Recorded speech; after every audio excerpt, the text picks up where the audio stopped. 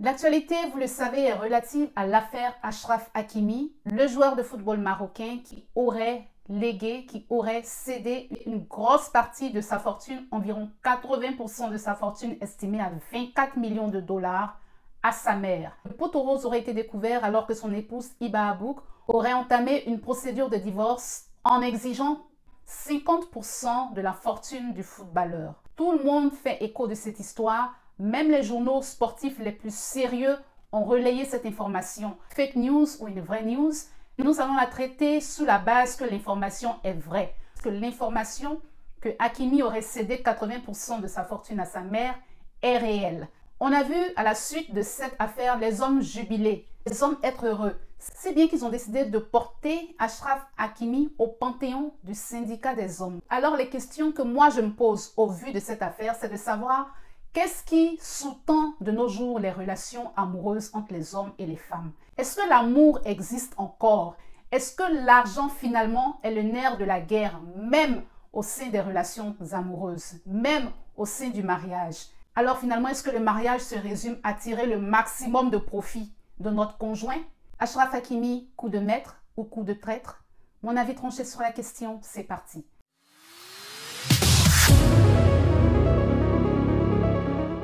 Coucou Tim, coucou les bienvenue sur ma chaîne pour une nouvelle vidéo. J'ai trouvé que le cas Hakimi était intéressant à aborder en ce sens que il met en lumière plusieurs aspects de la vie de couple. Il met en lumière également les relations interpersonnelles, la place de l'argent dans le foyer. Il met également en lumière les intérêts cachés de la vie maritale. Est-ce que Hakimi avait le droit de céder une partie de sa fortune, ou disons 80% de sa fortune à sa mère, sachant pertinemment qu'il a une épouse et des enfants? Est-ce que c'est un coup de maître ou est-ce que c'est un coup de traître à l'endroit de son épouse et de ses enfants? Je pense que c'est un coup de maître et un coup de traître. Et je vais vous expliquer pourquoi. C'est un coup de maître en ce sens que il est connu dans le milieu sportif ou dans le milieu des stars ou dans le milieu des personnes célèbres ou des personnes fortunées que les relations hommes-femmes ne sont pas toujours basées sur l'amour, mais sont plutôt basées sur les intérêts. Et généralement, dans la majorité des cas, parce qu'il y a des exceptions, à la fin de cette relation d'intérêt, c'est l'homme qui doit casquer.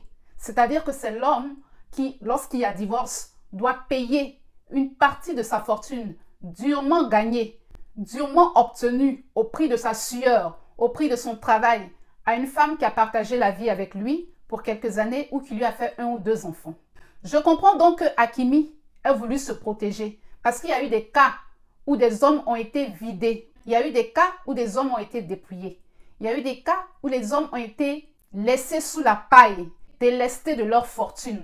On se souvient qu'en 2007, un divorce fracassant a coûté à Thierry Henry près de 10 millions d'euros.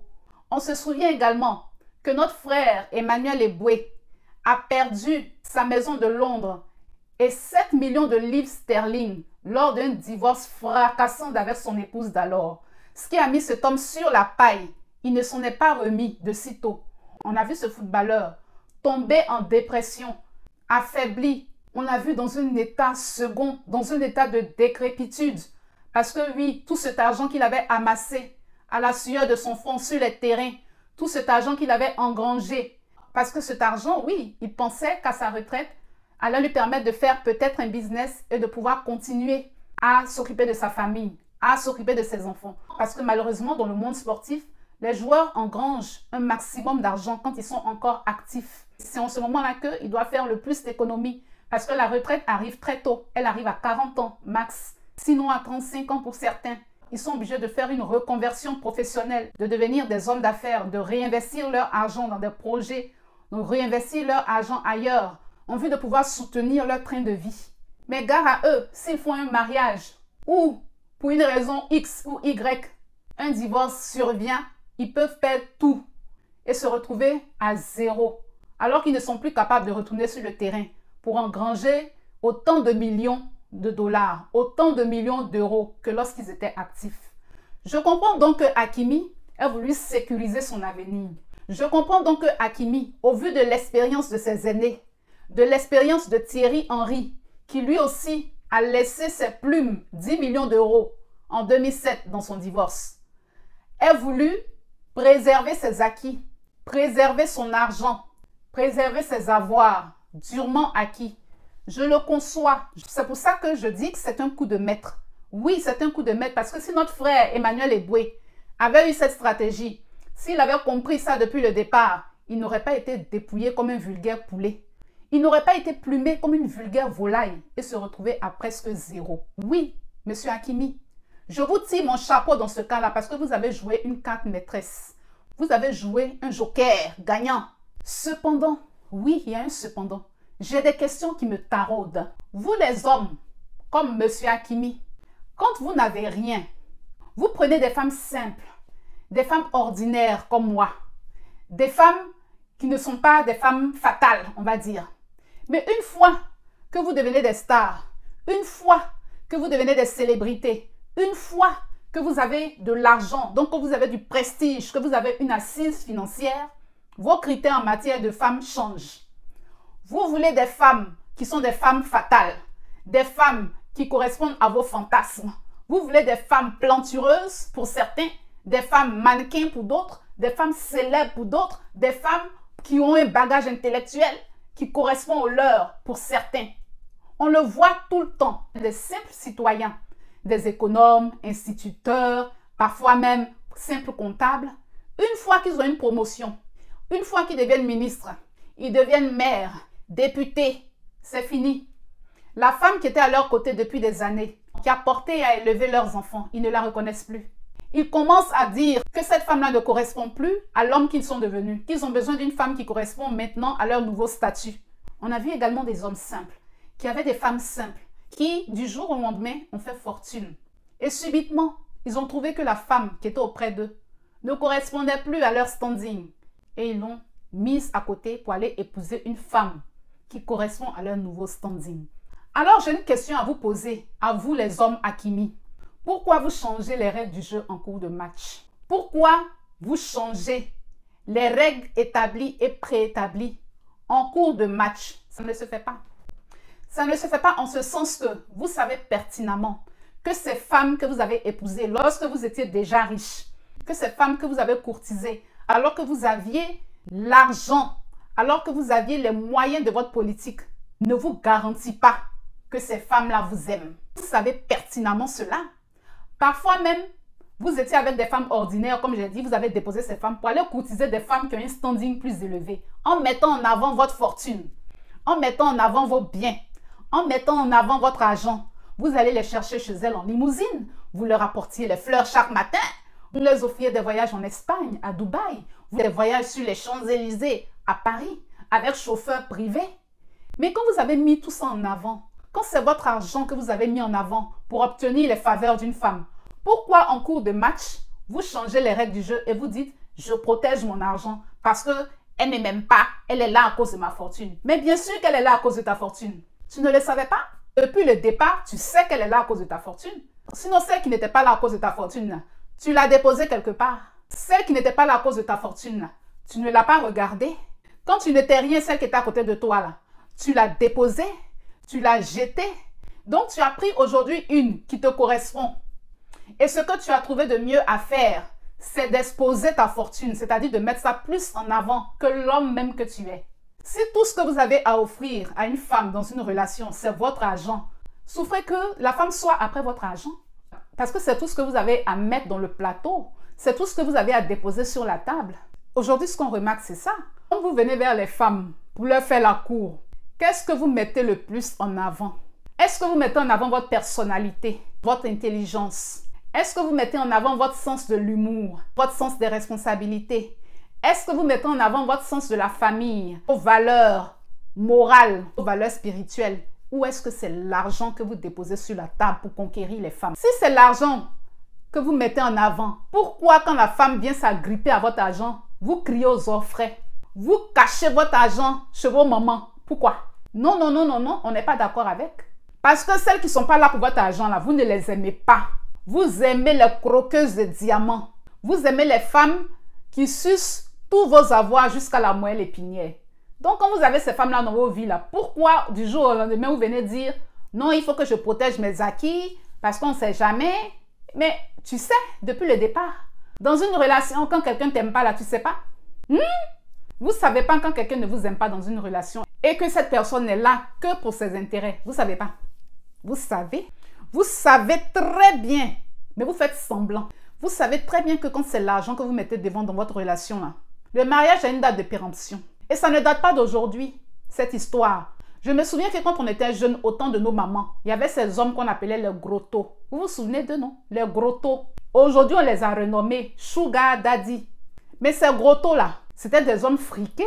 La loi de l'offre et de la demande. Donc, quand vous proposez et qu'elles acceptent, c'est un échange de bons procédés. Donc, pourquoi à la fin, vous n'allez pas jusqu'au bout? Pourquoi vous allez cacher ce pourquoi ces femmes-là sont entrées dans vos vies? L'argent. Ne cachez pas l'argent sous le matelas ou n'allez pas donner ça à vos mamans. C'est pour ça qu'elles sont là et vous le savez depuis le départ. Vous avez des critères tellement pointus en matière de femmes une fois que vous avez obtenu une certaine ascension sociale. J'avais déjà expliqué une partie de ce fait-là dans une vidéo précédente. Le complexe de la femme blanche. Allez regarder cette vidéo. Toi, Akimi, si tu étais un saint bébé qui était en train de paître ses moutons dans ton village quelque part au Maroc là-bas, est-ce que cette femme-là, tu l'aurais eue? Il y a des femmes, vous-même, vous les regardez, vous savez que vous ne les avez eues que parce que vous êtes ce que vous êtes financièrement. Vous les avez eues parce que vous êtes ce que vous représentez socialement. Donc, quand vous-même, vous êtes des hommes avec des standards élevés et que vous avez mis dans la balance votre aisance financière pour obtenir les femmes qui correspondent à vos standards, n'allez pas cacher l'argent chez vos mamans. Non, déposez l'argent là, là, pour que la femme puisse profiter. Parce que c'est pour ça qu'elle est là. Parce que c'est ce que vous lui avez vendu. Parce que c'est le rêve que vous lui avez montré.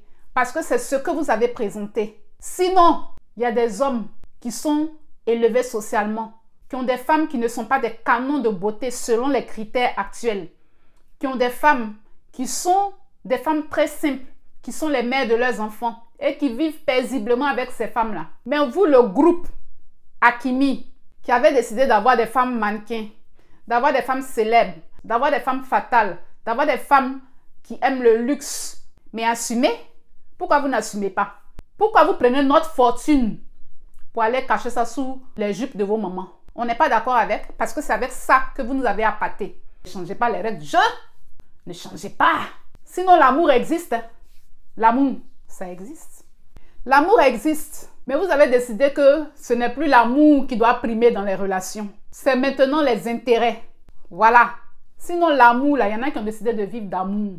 Mais c'est des personnes qui sont vraies, qui ont décidé que leur relation ne soit pas basée sur du fake, que leur relation soit des relations basées sur des valeurs saines. Ce que moi j'ai compris dans cette affaire Akimi, c'est que l'argent reste le nerf de la guerre, quelle que soit la relation. Si bien qu'en Côte d'Ivoire présentement, ça existe aujourd'hui le contrat de mariage. Dans le contrat, on va mentionner les clauses du mariage. On va même parfois mentionner la durée. On va mentionner comment ça se passe en cas de séparation. aujourd'hui, personne n'a envie de se sacrifier. On entend souvent les femmes dire, je suis plus prête à souffrir avec un homme à miser sur lui et puis quand il va devenir célèbre ou quand il va avoir de l'argent ou quand il va avoir du travail, il va me laisser tomber pour une autre. On entend les hommes aussi dire, les gars, cherchons l'argent. Si tu as l'argent, tu peux avoir la femme que tu veux. Mais est-ce que la femme que tu veux là, elle t'aime? Est-ce qu'elle va te le rendre? C'est toi qu'elle va aimer ou c'est ton argent qu'elle va aimer? Donc pour résumer, Ashraf Hakimi connaît les règles du jeu. Il a voulu une femme qui corresponde à son statut de star, à son statut de célébrité. Donc il y a un prix à payer pour ça. Le prix à payer, parfois, il est lourd. C'est le prix de ta fortune, durement gagné à la sueur de ton front. C'est le prix de ta sueur et de ton sang. Aujourd'hui, on vit dans un monde où chacun cherche ses intérêts. On a oublié l'essence même de ce qu'est la relation homme-femme. Pourtant, on sait très bien qu'il n'y a rien de plus beau que l'amour vrai, que l'amour désintéressé, que l'amour qui se donne sans condition, que l'amour qui ne calcule rien. On a décidé que c'était plus important. Pro Akimi, déjà, vous n'êtes pas Akimi parce que vous n'avez pas la fortune d'Akimi. Donc, je ne sais pas pourquoi vous jubilez. Vous jubilez pourquoi? Qu'est-ce que vous allez aller cacher chez vos mamans? Allez donner à vos mamans. Vous les connaissez, non? Allez leur donner votre argent. On va pas acheter les pains pour mettre dans la cantine. On va prendre ça pour aller soigner votre oncle au village qui est malade. Oui, ça va servir au moins à la famille. Ça va servir à ouvrir la télé de couture de votre soeur. Si vous voulez le faire, faites-le. Vous avez notre bénédiction. Mais on ne pleure pas après on ne pleure pas. Coucou les winners, c'est la fin de la vidéo. J'espère qu'elle vous aura plu. Commentez, likez, partagez. On se dit à la semaine prochaine pour une nouvelle vidéo. Et surtout, n'oublions pas, nous sommes plus que vainqueurs par celui qui nous fortifie. Ciao